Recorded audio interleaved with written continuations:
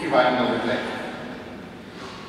Jego praca naukowa związana jest z Gdańskim Uniwersytetem Medycznym, aczkolwiek przeplatana bardzo licznymi stażami zagranicznymi Kraków czołowych ośrodkach naukowych Europy. W roku 1986 ukończył on studia na kierunku lekarskim w ówczesnej Akademii Medycznej Gdańsku, obecnie oczywiście w Gdańskim Uniwersytecie Medycznym. Niemal dokładnie 4 lata później, 4 dni zabrakło, żeby było dokładnie w tym samym dniu, po 4 latach uzyskał stopień doktora nauk medycznych samej uczelni, a promotorem jego rozprawy był pan profesor Julian Święczyński, znakomity biochemik specjalizujący się w zakresie biochemii klinicznej. W roku 2000 nadano dzisiejszemu laureatowi stopień doktora habilitowanego, a 16 lat później prezydent Rzeczpospolitej Polskiej nadał mu tytuł naukowy profesora. Na wspomnianej wcześniej uczelni przeszedł wszystkie etapy kariery akademickiej, od zatrudnienia na stanowisku asystenta, do starszego asystenta, adiunkta, e, a na stanowisku profesora w funkcji kierownika katedry i zakładu biochemii, którą pewnie do dzisiaj kończąc.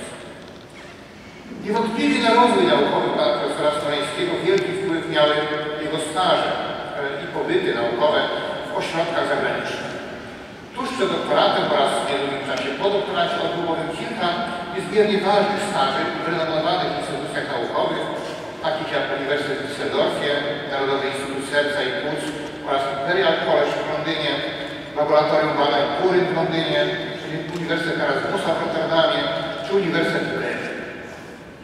Następnie objął prestiżowe stanowisko kierownika grupy badawczej w Centrum Badań Serca w Imperial College w Londynie. To było w latach 1997-2009, a więc długi czas kierował tym znakomitym laboratorium. Potem pracował też profesor wizytujący e, w Uniwersytecie imienia inżyniera Iwasała Brunera w Londynie do roku 2013. Na swoje badania naukowe wielokrotnie uzyskiwał różne granty, zarówno krajowe, jak i międzynarodowe. Z tych pierwszych należy wymienić przede wszystkim finansowanie projektów z Narodowego Centrum Nauki, Narodowego Centrum Badań i Rozwoju, Fundacji na Rzecz Nauki Polskiej czy Ministerstwa Edukacji i Nauki.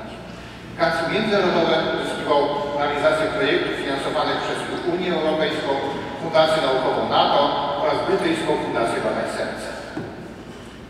Do czego doprowadziły te intensywne badania naukowe prowadzone przez ponad 35 lat przez pana profesora Smoleńskiego? Co było ich efektami? No, tych efektów było bardzo dużo. Wymienię może zatem tylko niektóre, te najważniejsze i pokazujące ogromne znaczenie oraz niezwykle wysoki poziom prowadzonych przez niego badań. Po pierwsze, dzisiejszy laureat określił mechanizm zawału serca spowodowanego zaburzeniami metabolizmu lipidów. Wykazał, że zaburzenia te powodują wewnątrzkomórkowe zmiany metaboliczne, prowadząc w konsekwencji do martwicy komórek serca.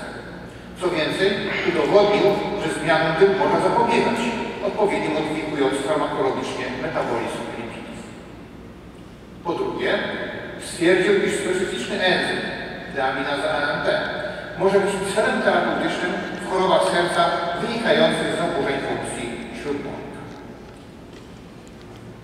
Po trzecie, wykrył, że proces miażdżycowy może być skutecznie hamowany przez obniżenie aktywności kolejnego enzymu deaminazy adenozyny, a z kolei zwiększona ekspresja genu kodującego ECTO-5-nukleotydazę może chronić przed rozwojem miażdżycy. Po czwarte, określił szczegółowy mechanizm udziału deaminazy adenozyny w procesie domozdrożenia, co wskazuje na ten jako potencjalny cel nowych leków antynowotworowych. Po piąte, wskazał na udział białka antyptyny w regulacji metabolizmu nukleotydów, co wskazuje na mechanizm zaburzeń sercowo-naczyniowych w chorobie Huntingtona, neurodegeneracyjnym schorzeniu dziedziczonym w sposób autosomalny dominujący, prowadzącym do bardzo poważnych objawów neurologicznych, kardiologicznych i innych oraz niestety przedwczesnej śmierci. Po szóste, brał istotny udział w udoskonaleniu zaawansowanych biochemicznych oraz diagnostycznych sposobów bezpiecznego transportu narządów do przeszczep. Wyniki badań pana profesora Smoleńskiego zostały opublikowane w ponad 300 artykułach naukowych, które ukazały się w renomowanych międzynarodowych czasopismach naukowych. Wymienię kilka. Biology, Biomedicine, Cardiovascular Research, Cells, Frontiers Molecular Neuroscience, Nucleoside Nucleotides and Nucleic Acids, Experimental Biology and Medicine, Gene, Journal of Translational Medicine i jeszcze wielu innych. Pan profesor Smoliński ma również znakomite osiągnięcia w kształceniu kadr naukowych. Wypromował 11 doktorów, był recydentem w wielu postępowaniach na stopnie doktora i doktora habilitowanego oraz jako profesora. Działa także aktywnie na rzecz uczelni, bierze udział w życiu akademickim. Jest członkiem Rady Uczelni Medycznego, uczestniczy w pracach Senackiej Komisji tejże uczelni, jest koordynatorem priorytetowego obszaru badawczego biochemia, genetyka, biologia molekularna w ramach programu Inicjatywa Doskonałości Uczelni Badawczej. Jest członkiem wielu ogólnokrajowych oraz międzynarodowych towarzystw naukowych, których pełni ważne funkcje. Pan profesor Smoleński za swoją działalność naukową został oznaczony już krzyżem Złotym Krzyżem Zasługi oraz uhonorowany nagrodą prezydenta miasta Sopotu. Dzisiaj odbiera nagrodę naukową miasta Gdańska imienia Jana Kadeliusza w dziedzinie nauk przyrodniczych. Jak mogliśmy króciutko posłuchać, nagroda ta trafia w ręce znakomitego naukowca, aktywnego badacza rozwijającego, rozwiązującego zagadki biochemicznych mechanizmów, procesów zachodzących w różnych stanach chorobowych i proponującego nowatorskie podejście terapeutyczne, mm, pracującego też na rzecz udoskonalenia metod diagnostycznych i zabezpieczających materiał biologiczny do transplantacji. Wychowawcy i mistrza młodej kadry naukowej, jednocześnie człowieka bardzo skromnego, a przy tym tworzącego znakomitą atmosferę zarówno w miejscu pracy naukowej, jak i w różnych gremiach, w których zasiada.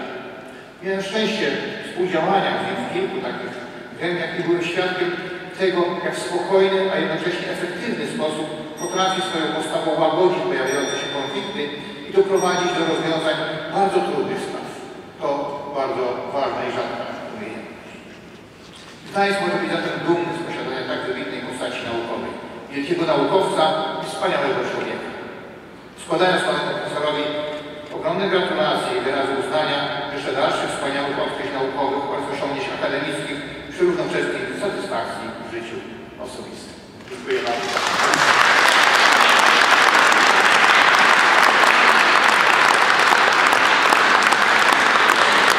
Panie profesorze, bardzo proszę o zabranie głosu.